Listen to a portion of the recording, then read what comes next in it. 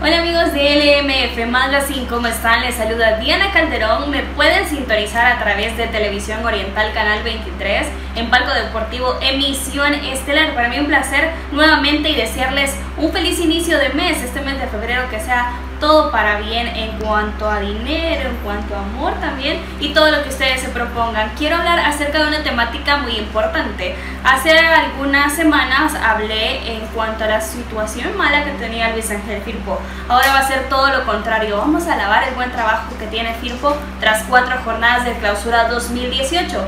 Y es que Heraldo ha hecho muy bien las cosas, a pesar de que muchos quizás no tenían la paciencia o no era un equipo convincente para muchos aficionados aficionados debido a que tenían varios jugadores que eran juveniles, Luis Ángel Firpo ha sabido pararse a todos los equipos de la primera división. Quizás hay muchos que dicen, esperen que enfrente a los equipos llamados grandes de nuestro fútbol nacional, pero sin duda estos chicos de Luis Ángel Firpo, que son en su mayoría, como lo repito, son juveniles, tienen jugadores con piezas muy interesantes. Uno de ellos es Carlos Medrano, que es un jugador que si bien no ha anotado quizás de tantos goles o no se ha visto muy bien eh, en cuanto a la hora de, de marcar, sí es un jugador con características interesantes.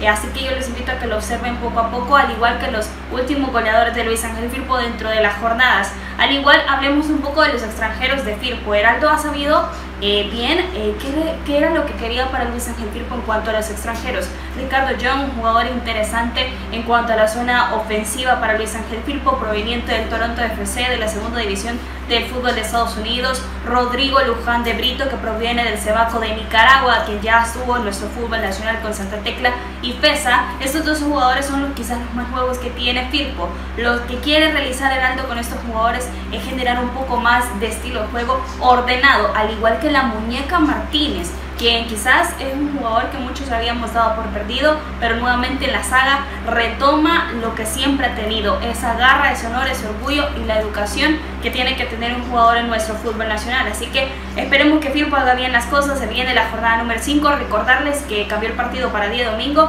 frente a de Chalatenango y que Firpo siga haciendo bien las cosas, felicitar, felicitar a su dirigencia, sobre todo por las promociones que está poniendo en cuanto a las entradas. Soy Dina Calderón, les, les mando un saludo muy especial.